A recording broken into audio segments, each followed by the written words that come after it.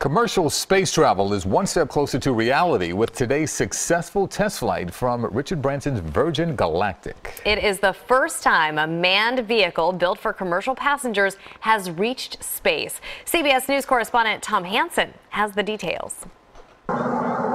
An aircraft carrying the Virgin Spaceship 2 took off from California's Mojave Desert Thursday morning on its way to the edge of space.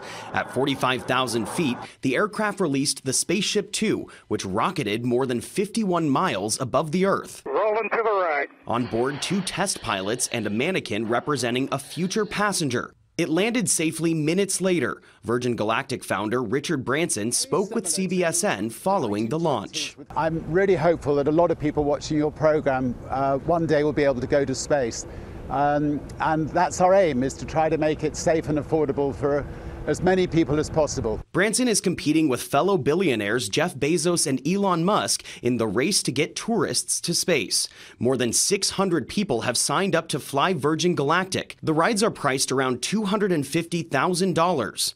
Branson says he wants to be one of the first to go. I'm itching to go. My guess is within six months, and, and I think I can pretty confidently say that today. Thursday's successful launch comes four years after an earlier craft crashed during a test flight, killing one pilot and injuring the other.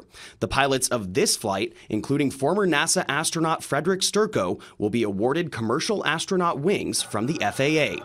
Tom Hanson, CBS News. Hmm. Hmm. And that's, huh? You could forecast the, the travel forecast for going oh, to yeah. outer space. Oh, my. Can you imagine? yeah. yeah. We're good here. Yeah.